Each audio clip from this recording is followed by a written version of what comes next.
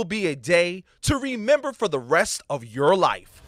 The Pro Football Hall of Fame is excited to present the heart of a Hall of Famer program connected by Extreme Networks. With over 100 Hall of Famers participating, we have reached 47 states and countries all over the world, sharing the message that football is more than a game and can teach Americans important life values like commitment, integrity, courage, respect, and excellence. But you have to make right decisions even when nobody's watching you. Well, respect is not just given out. It's not handed out like a like a like a brochure. It's earned. Today, you are presented with an opportunity to meet and learn from one of the greatest football players of all time. But more important than that, the chance to see that their Hall of Fame life wasn't given to them. They didn't roll out the bed great. They put the work in, on the field, in the weight room, in the classroom, in their communities. They made themselves a Hall of Famer on and off the field. Your feet can't take you where your mind's never been. Because you can make it, but it's just gonna take a little hard work and some effort and the drive and determination. And today, you will learn you can do the same thing they did. You don't have to have a gold jacket or a bronze bust to make a difference in the lives of others. It's your decision whether you want to be a successful student, son, daughter, brother, or sister. If attitudes are contagious, is your attitude worth catching? It's integrity as well because when you decide to pursue something and you don't quit, that says a lot about you. Commitment to excellence. We can all aspire to be the best. Welcome to a once in a lifetime program, the heart of a Hall of Famer program, connected by Extreme Network. The great hands and even greater speed of wide receiver James Lofton made him one of the premier deep threat receivers of his era. Lofton played for five teams in his NFL career. He joined the Buffalo Bills in 1989, and in 1991, he became the oldest player in the history of the NFL to have over a thousand yards receiving in a season. When his career ended, James Lofton had scored 75 touchdowns, caught 764 passes, and owned one of the most prestigious records in the NFL. He retired with the most yards receiving in the history of the league 14,004.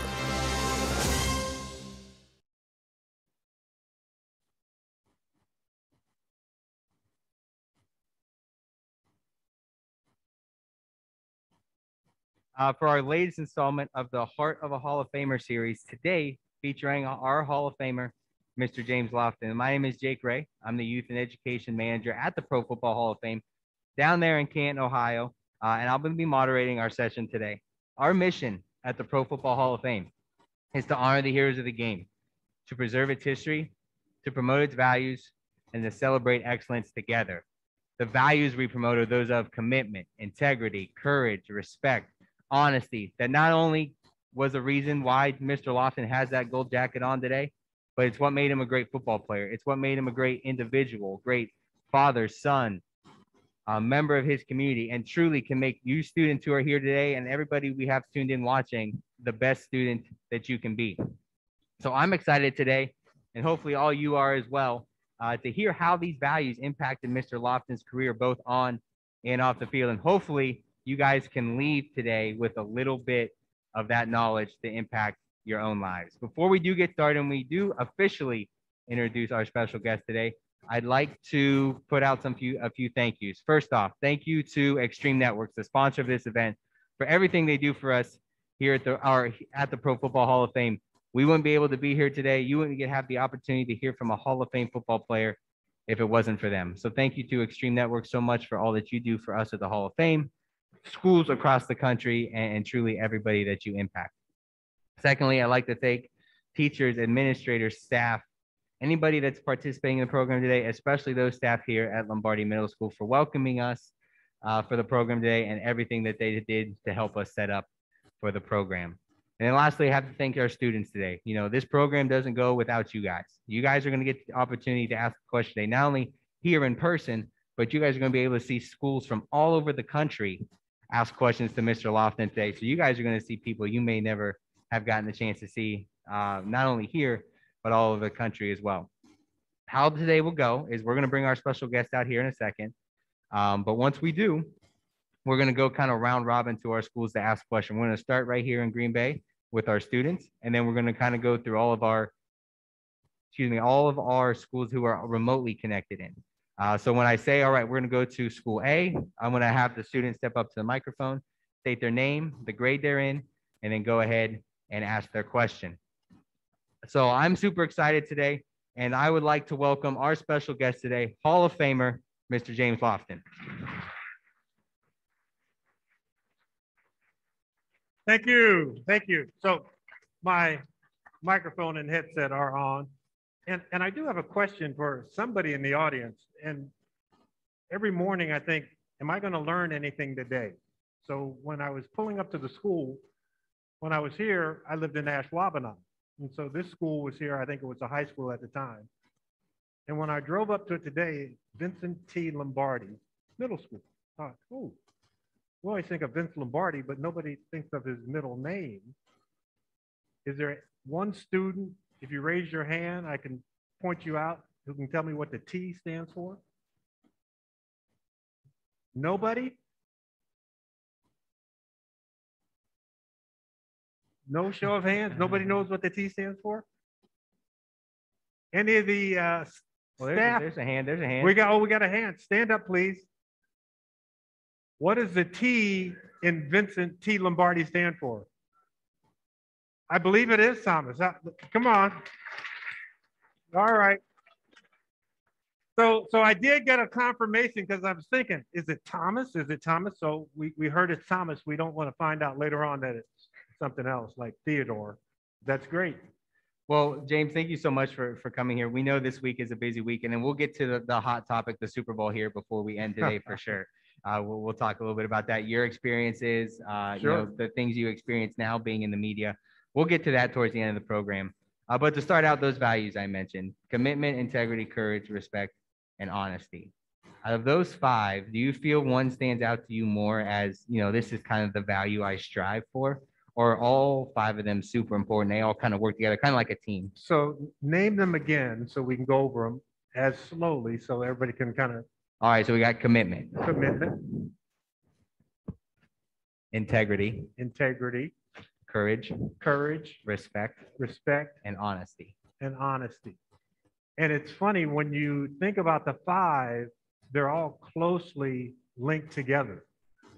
But the one that kind of stands out to me is integrity.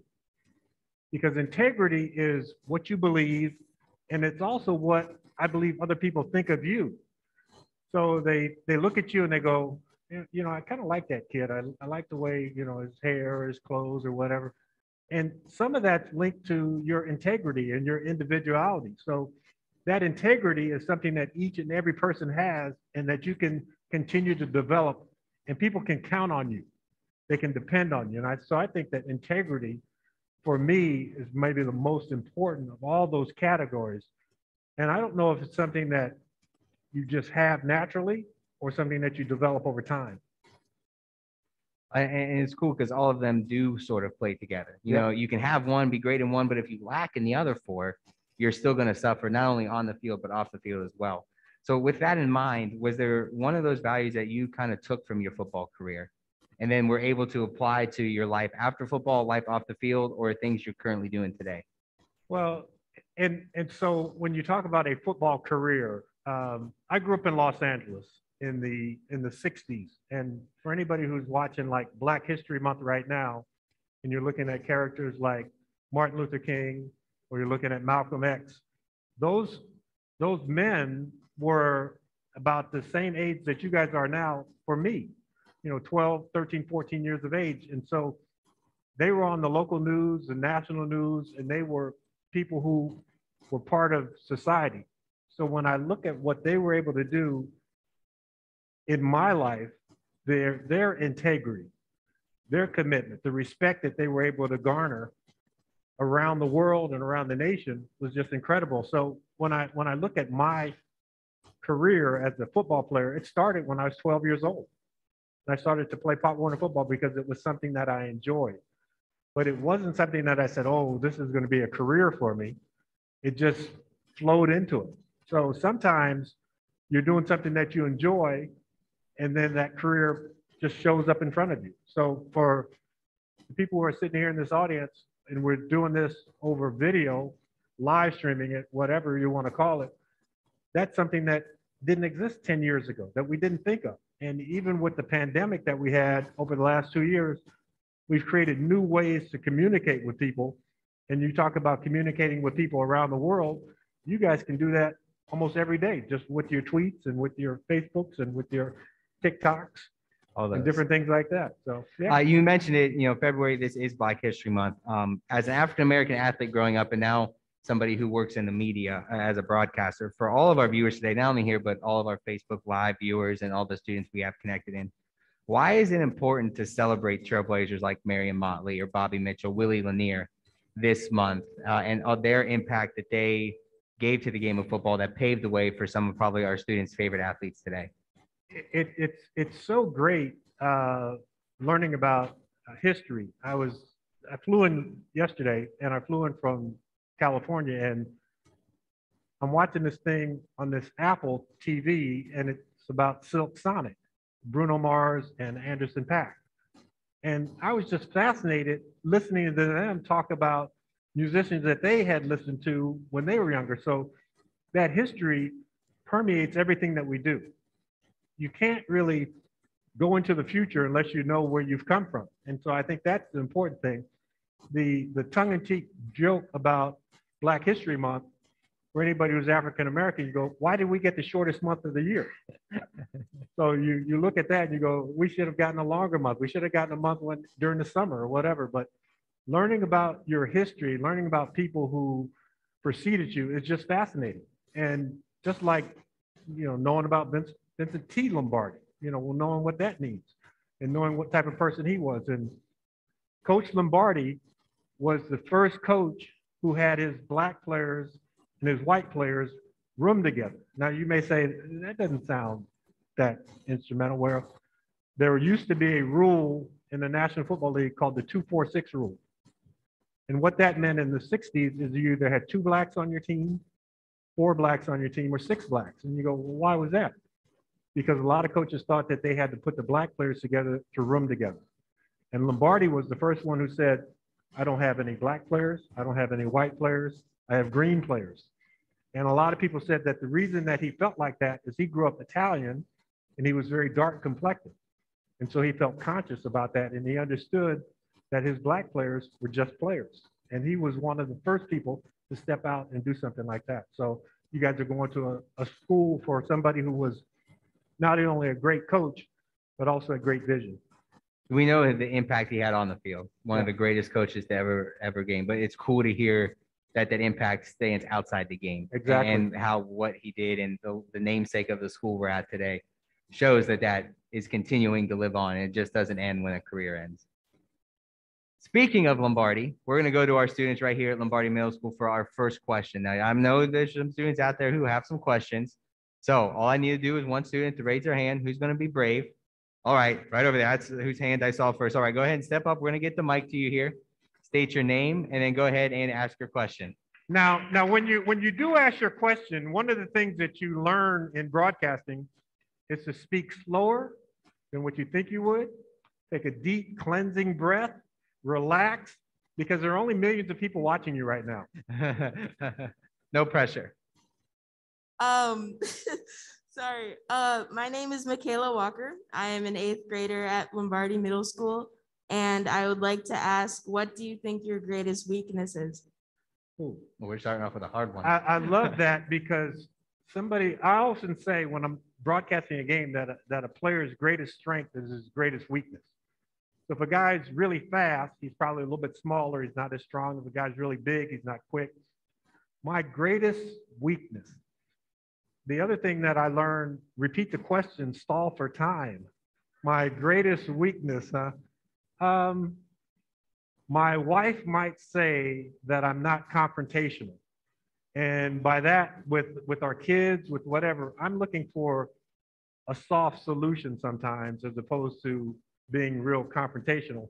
But I look at that as my strength also. So, like I said, a greatest strength can be your greatest weakness if you apply it correctly.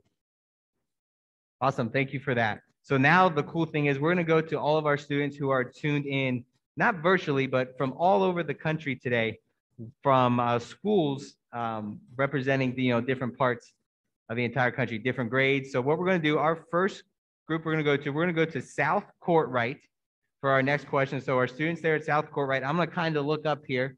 So are those students there at South Kortright? Go ahead and unmute your microphone, step up to the camera, and then go ahead and ask your question. Uh, my name's Emma Sakari. I'm in the sixth grade at South Kortright Central School, and I would like to ask, who do you feel helped you with your greatest accomplishment? So who do I feel helped me with my greatest accomplishment? That that is so tough. Um, my dad ended up being a single parent. Um, I had older brothers and sisters who were seven, six, five years older than me, and then I was quote the baby. And uh, when I was going into the third grade, we were living in Philadelphia, and my dad had been stationed in Germany. So he stops in Germ in Philadelphia, and he meets with us. And He says, "Well, we're going to move to California." And so he gets on a plane. He goes out to California, finds us a house. My mom puts the four kids on the plane, but she doesn't come with us. So that was the last time I saw my mom. I'm getting ready to go into third grade. The next time I saw her, I was 20 years old. And so my dad all of a sudden becomes dad, mom, everything else. And he was really great about making sure that I did my best.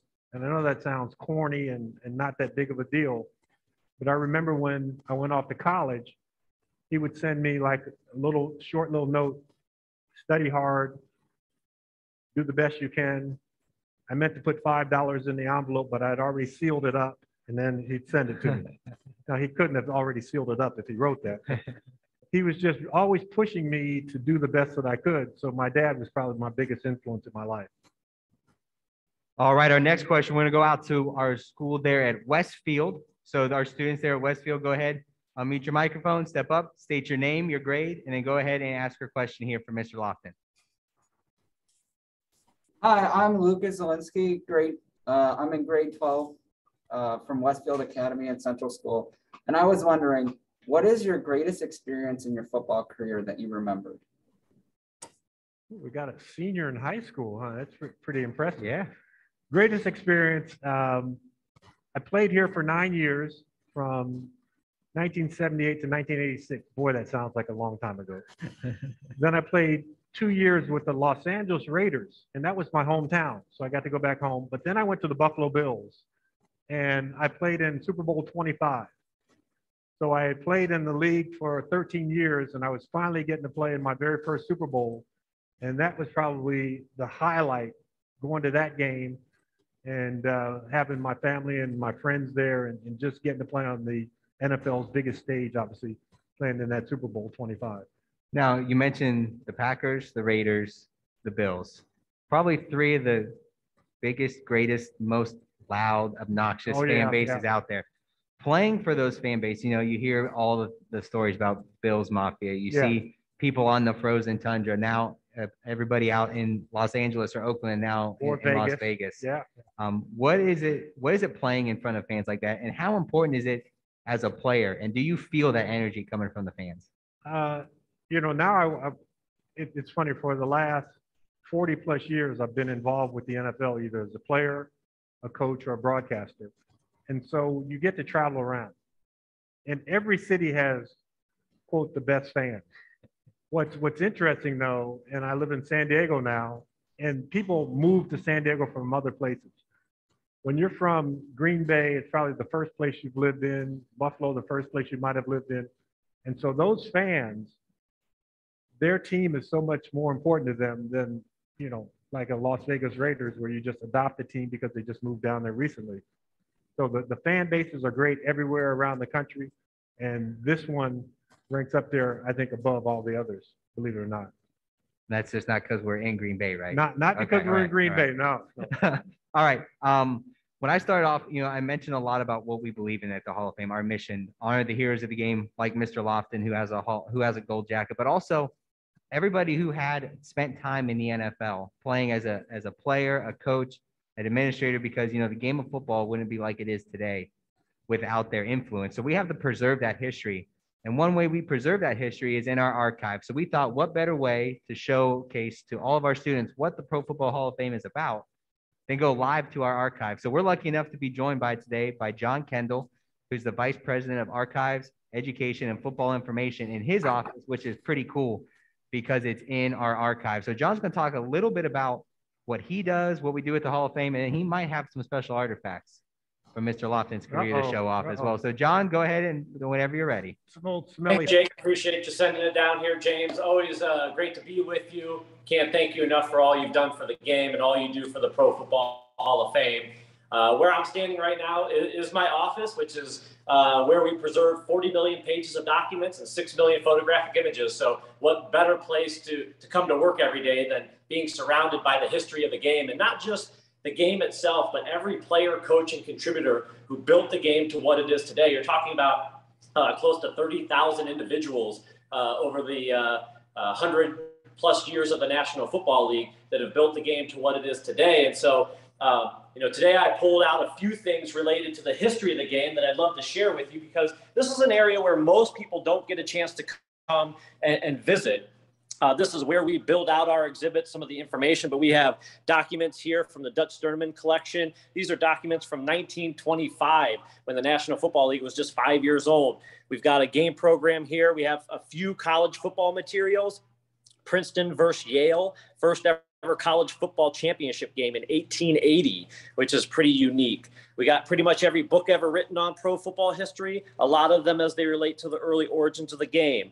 This is a special piece. This is the first ever Chicago Tribune charity football game program that pitted the college all stars in a given season versus the NFL champion, something you will never see again. There's too much at stake for all parties involved. And that lasted into the Super Bowl era. So 1976, you had the college all stars playing the Super Bowl champion Pittsburgh Steelers. And I think it would surprise a lot of you to know that the college all stars actually won nine of those games and tied two. So uh, there, there definitely was a, uh, uh, that game was very competitive.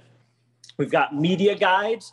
Uh, this is a, a, media guide from 1937, uh, the Green Bay Packers. And one of the, the things that, that I think uh, the Packers have always done a great job of is not only with the community, but their, their media and, and getting the information about their team and their players out to the rest of the country.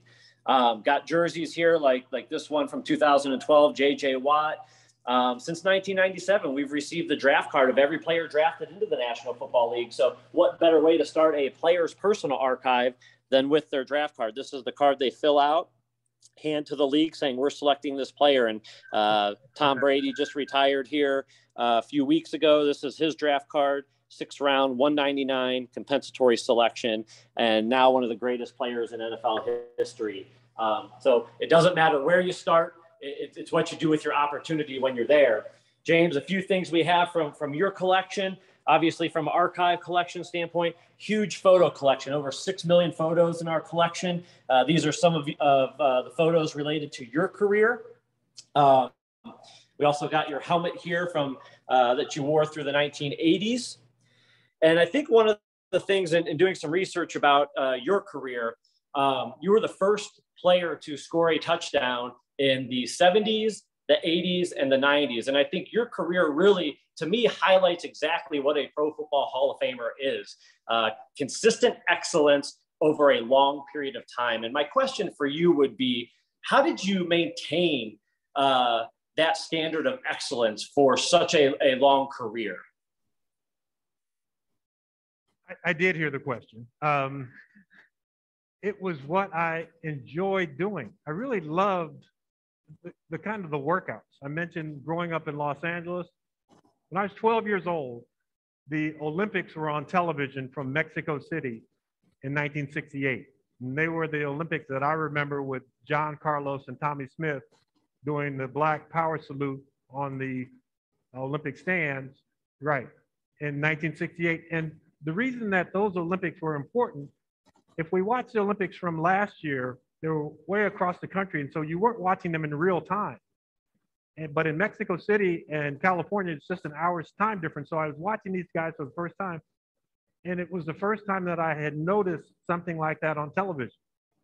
And I was just sitting up here thinking about all these students in the classroom.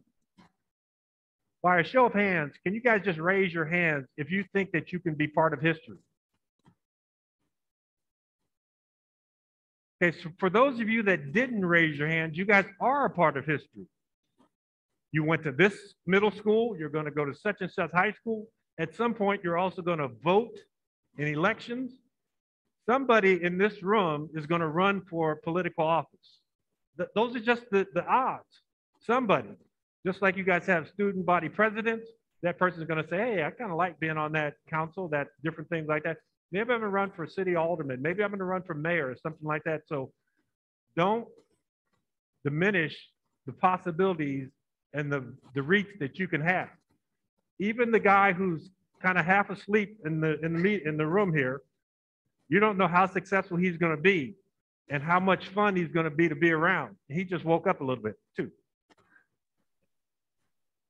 That's not me, right? No, not okay, you. all right, all right, perfect, perfect. Thought was talking about me.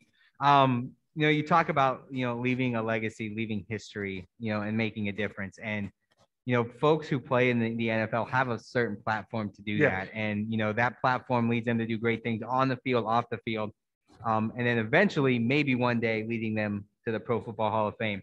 Um, Thursday, big announcement coming out. Yes. So Thursday, the Pro Football Hall of Fame is going to announce the class of 2022 at the NFL Honor Show Thursday night. So if you're in front of your TV, make sure you tune in. Uh, fellow Green Bay Packer alum LeRoy Butler, who, if you don't know, coined the term, made famous the Lambeau Leap. So we have him to thank for that. Um, he might near his, hear his name called or his get his door knocked on uh, Thursday to be a member of the class. So as a fellow, a fellow Packer alum, when another Packer gets inducted into the Hall of Fame, not necessarily you know a teammate, but somebody Right. else who played for the organization, what do you as a former Packer legend see in that, and do you feel any pride in in, in an induction like that? Well, it, it's interesting when when I came here in 1978, there were a group of Packers who had played for Vince Lombardi, who were just NFL royalty. And Bart Starr, who was my coach at the time, but Paul Hornung, Willie Davis, Ray Nitschke, these were names just as familiar as Aaron Rodgers, Davante Adams, um, the current Packers. So I looked at these guys and I thought, look at them. They're, they're just these icons of the game. So to be mentioned in that category with those players is always special. But to just be a player, period, on any team at any level.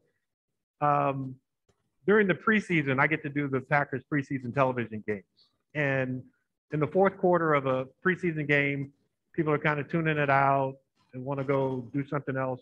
And I say, wait a minute, this is the time when you want to watch because the players that are on the field now, whether or not they make the Packers or the team that they're playing against, they were the best. They were the best high school player ever produced at a certain high school. And so to get to that level, whether you're just there for the preseason or whether you're there for 10 years, is quite the accomplishment.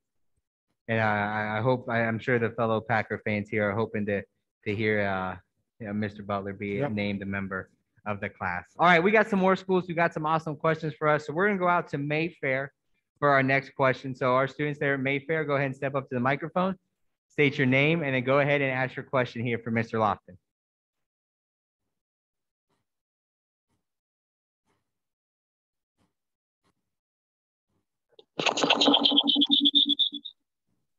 A Little bit of feedback. All right, whenever you're ready.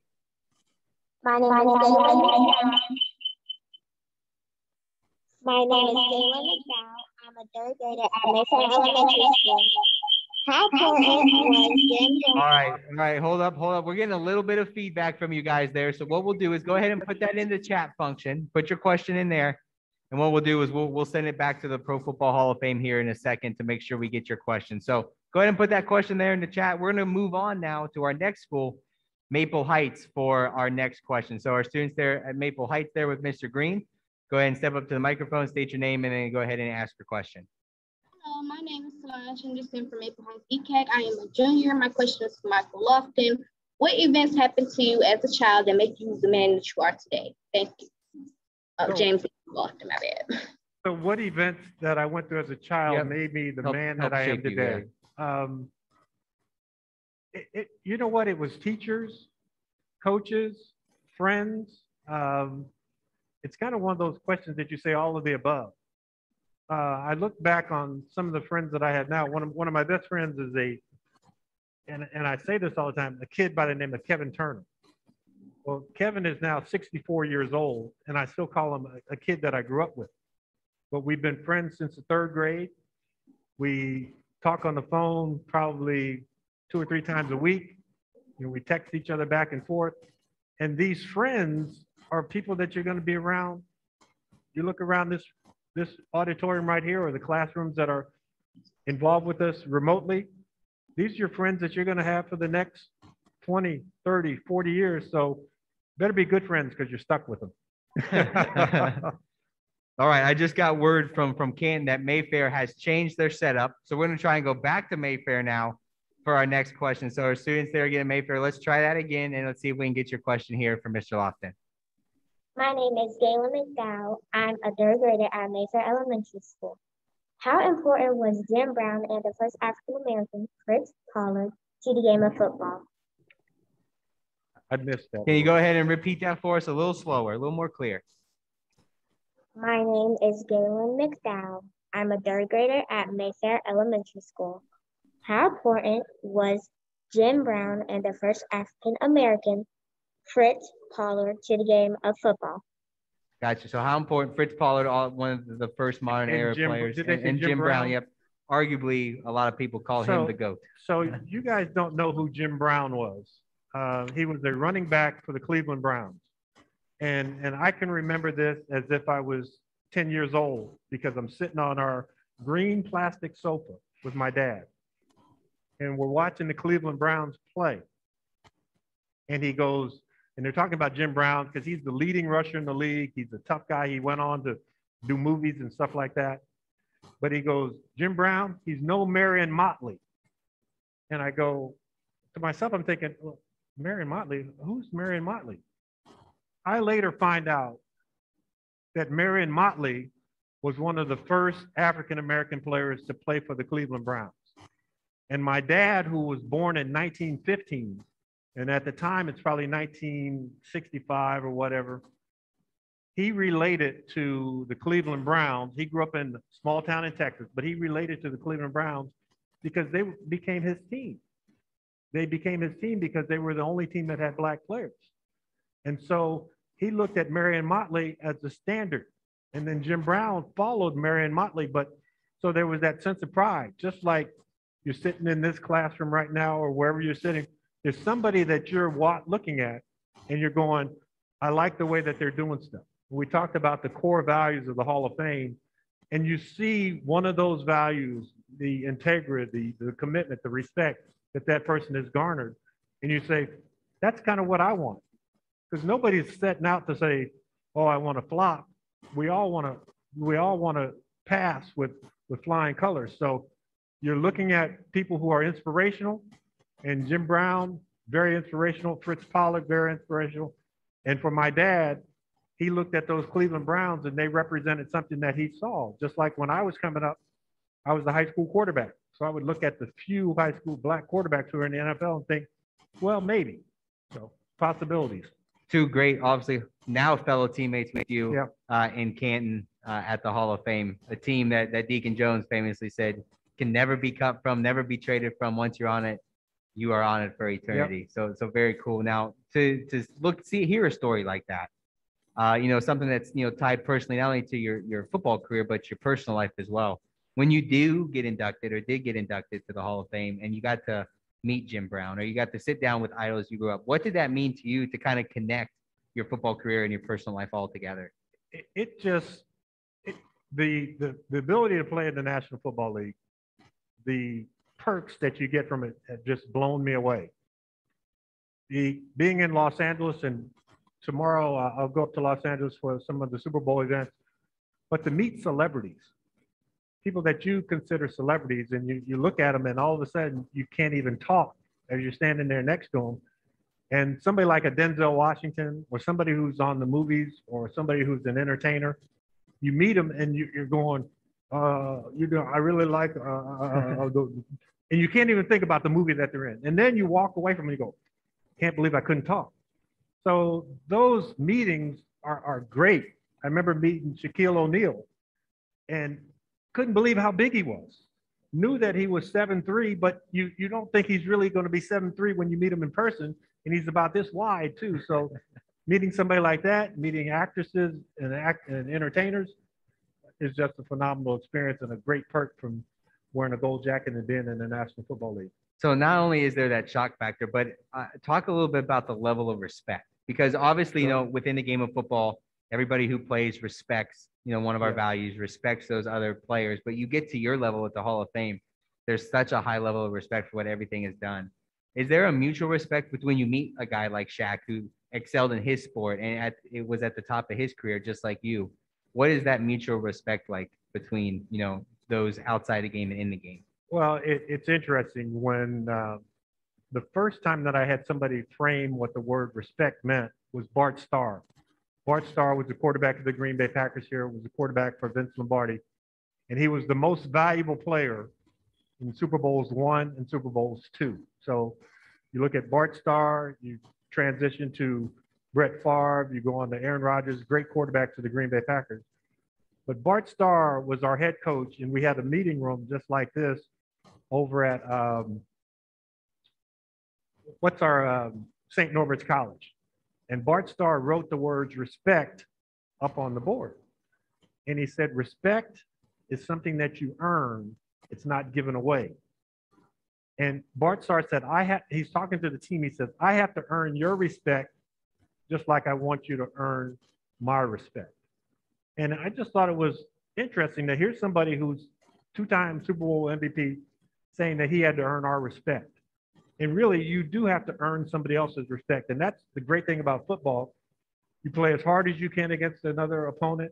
And at the end of the game, you walk over and you shake hands. And it's saying that, hey, I really respect what you did today, whether you beat them 25 24 or whether you beat them 50 to nothing. You can earn that respect on either side of the ball. Very cool.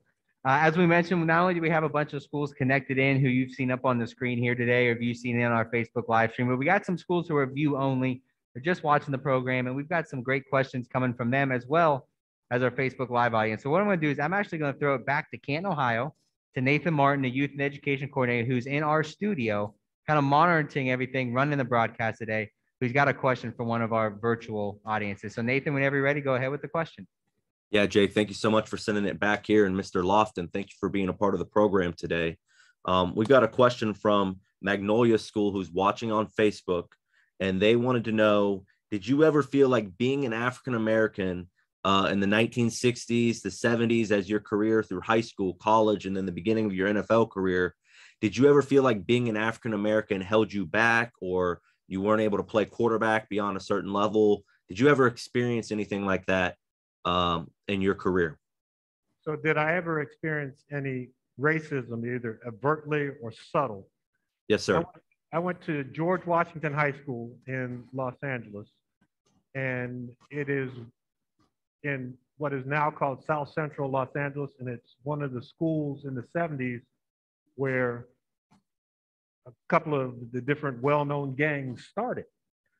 And so we're playing a game against a school in the valley, which is an all-white school. We were an all-black school, and we had an altercation during the course of the game. And I had to go out to that school on the Tuesday after we played them and kind of get on the PA and, and not apologize, but kind of talk about what happened and you know the names that were being said about us and different things like that.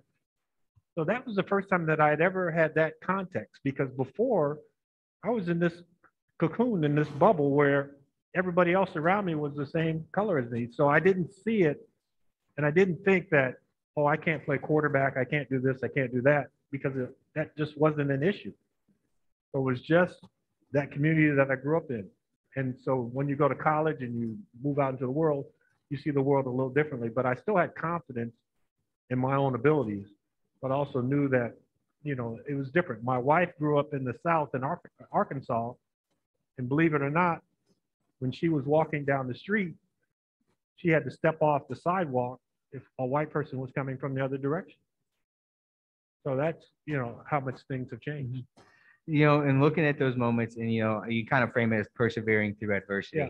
Um, you know, you went through that. Obviously, moments throughout your career. There might be students in our audiences today that they have to persevere through their own adversity. What are some tips and tricks for students who might be going through something like like a situation you went through or something in their own lives, and how do they get through it? Well, I don't, I don't know if it's, if you could say tips or tricks, but we are living in a multi-racial society. And all we have to do is look around, even look with, within our own family members. My grandkids are biracial. So what I had to do is you have to then embrace both sides of the family.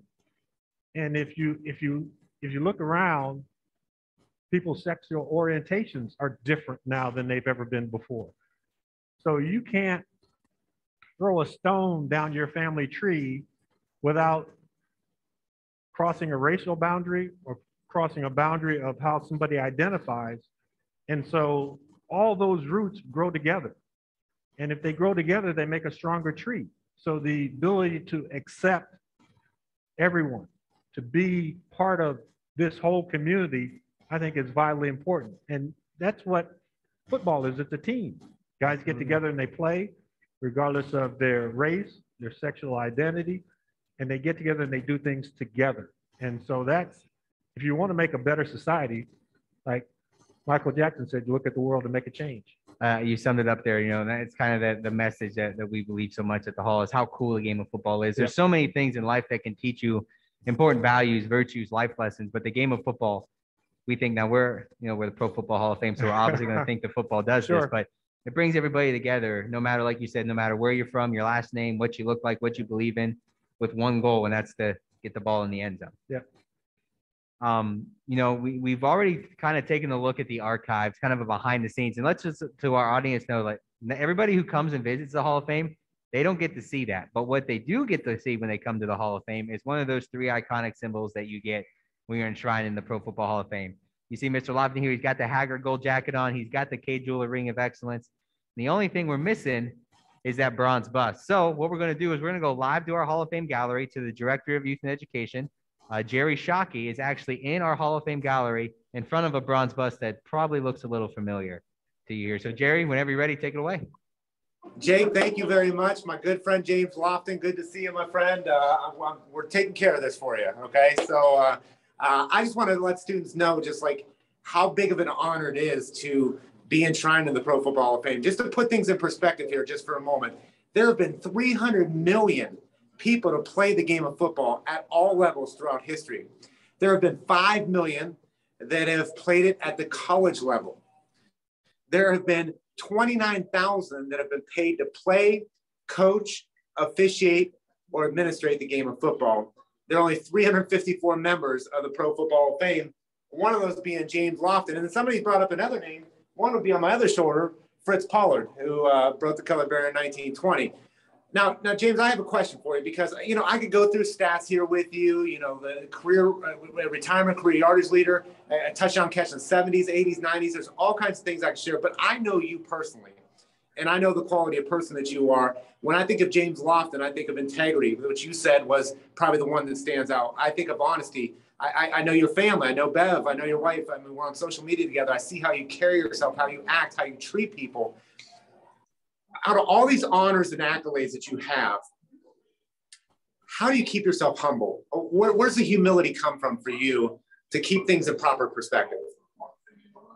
You know, it's funny. My wife told me before I came here, you should tell the students that, you know, you have a bus just like that one in our house. And the thing about that bus, that bus has hair and I no longer have hair. so, you know, you talk about being humble and there's a, uh, we, we have a Hall of Fame radio show that I used to do and I got to interview a lot of the Hall of Famers.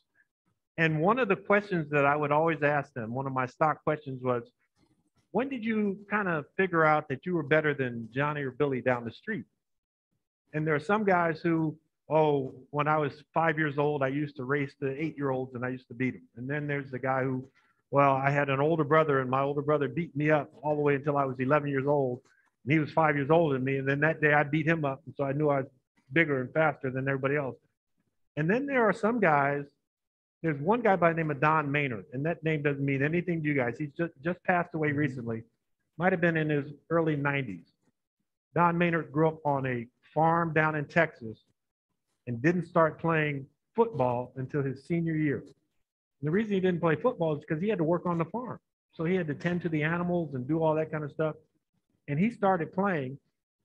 But the reason I mention his name is about 15 years ago, we were back in Canton in August, which is where they do the Pro Football Hall of Fame ceremonies. And Don Hutz, Don Maynard rather, was sitting over in the corner. And the young receivers who were in there sticking out their chest, oh, I was better than you, or I caught more passes than you did. I grouped them all together and I said, come on, guys, I need to take you over here to meet somebody. This is Don Maynard. He was better than you before you were you.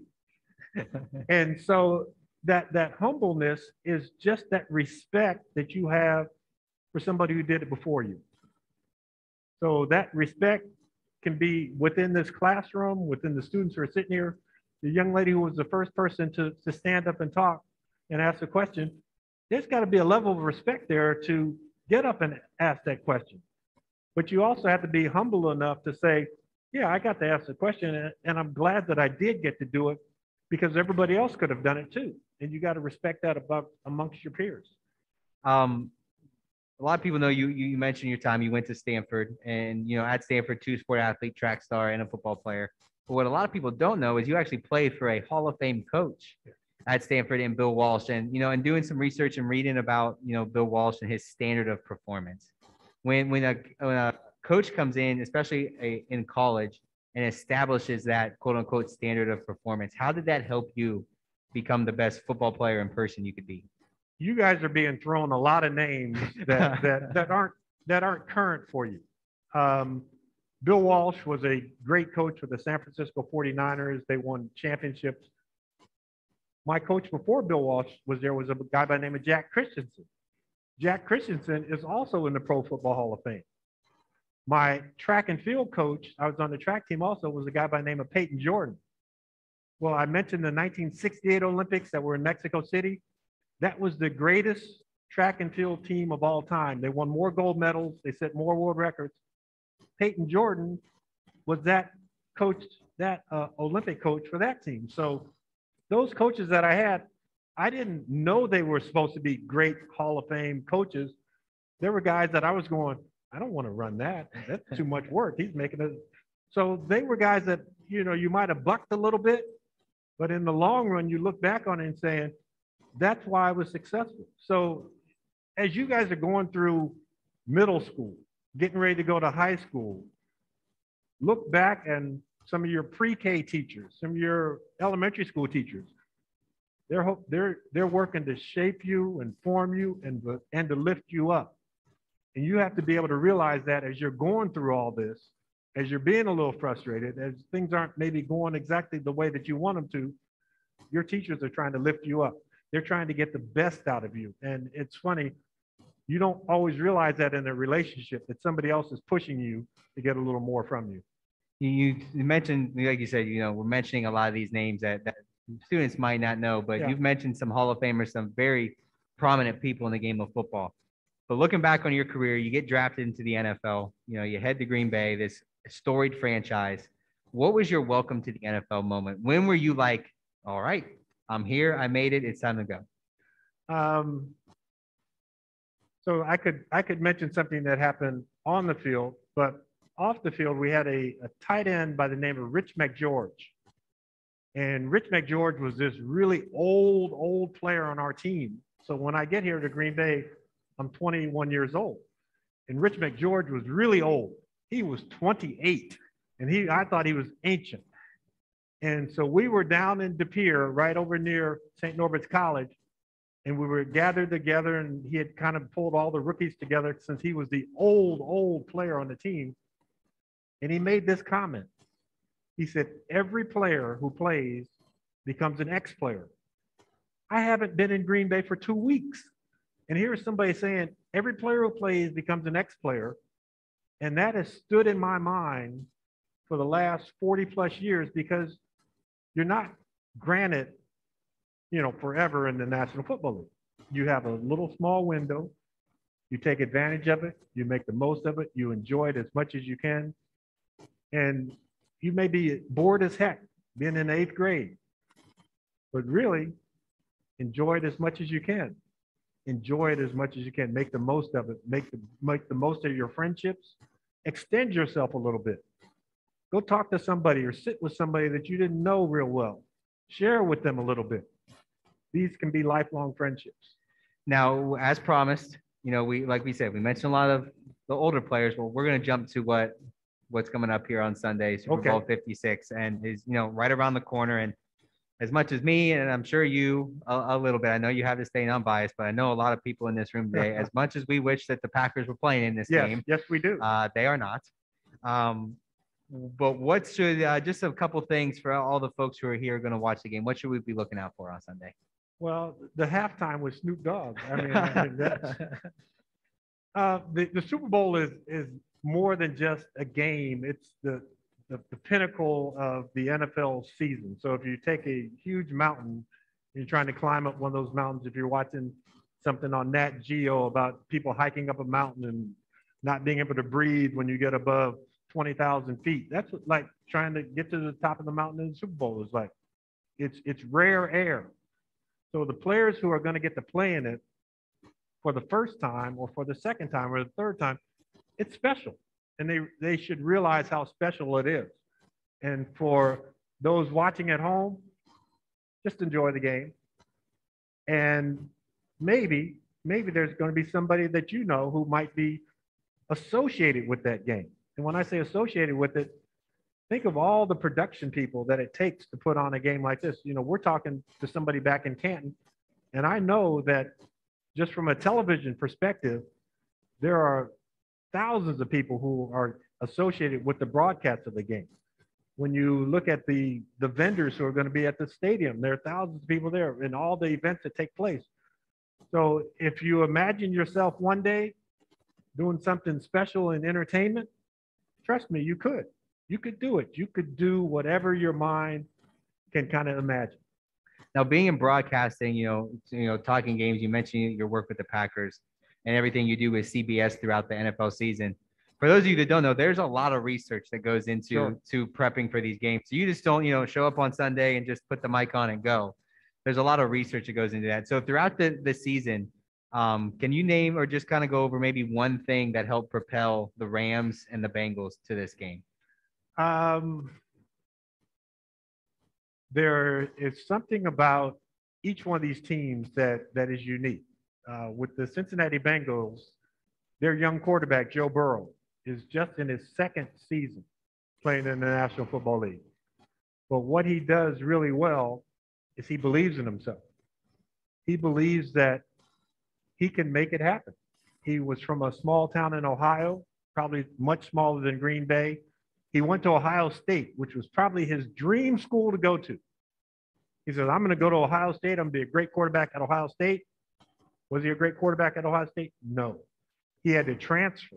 He went to LSU, turned in some greatness there. So, a great turnaround story there. Somebody who dreamed of going to Ohio State, his hometown.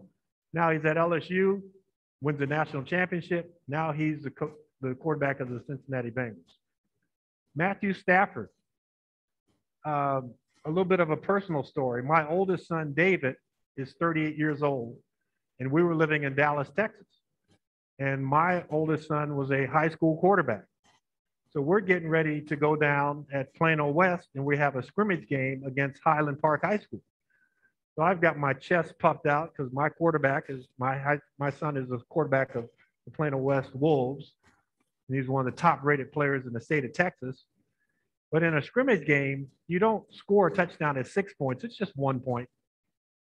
So instead of the score at the end of the game being 18 to 12 or whatever, Highland Park beat us like 10 to 7 because they set it up where each team can score.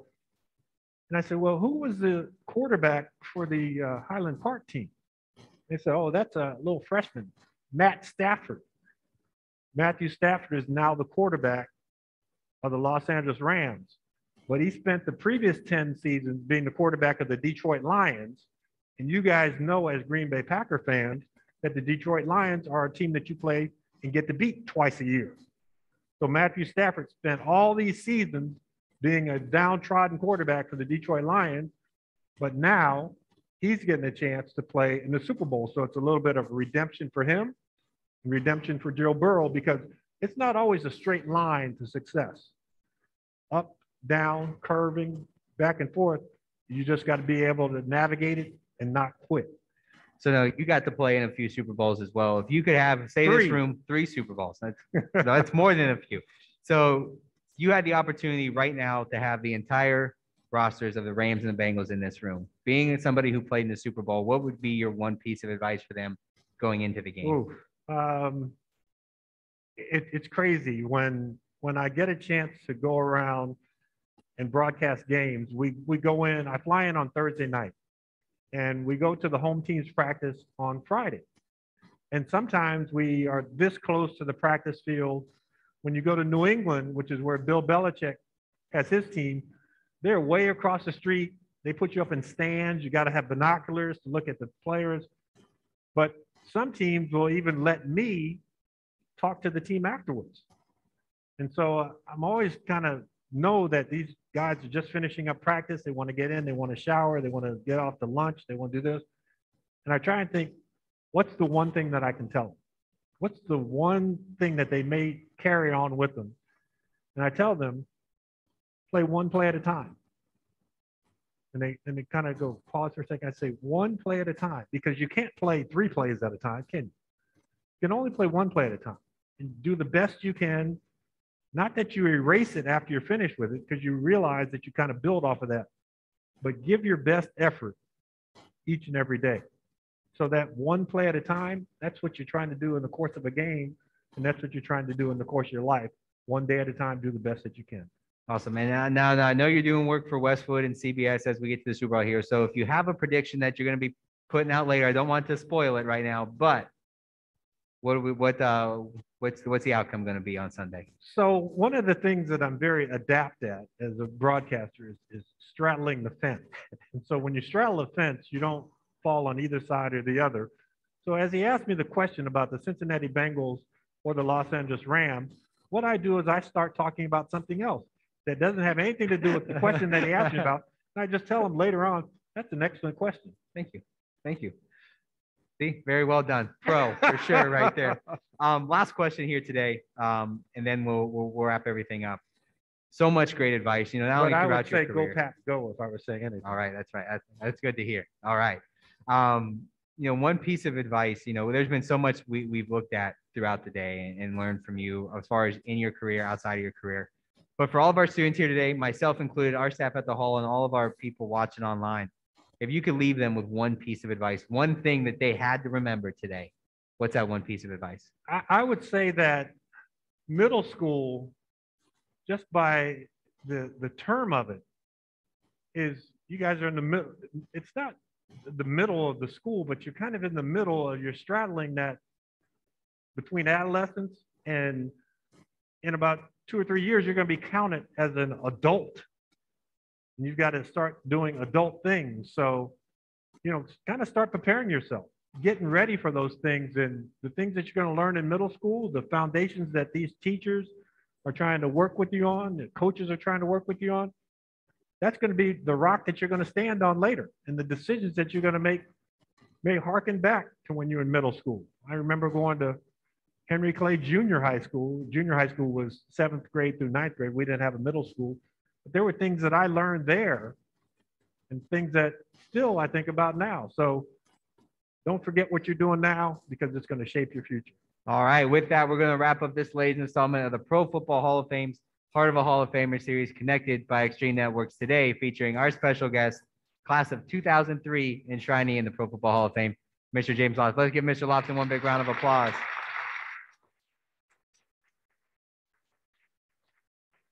So again, uh, James, thank you so much for, for making the trip here today. Thank you for giving us uh, a lot of your very valuable time as we lead into Super Bowl back out uh, in LA. Um, thank you for everything you've done for the game of football. Truly, thank you for everything you've done for us at the Hall of Fame.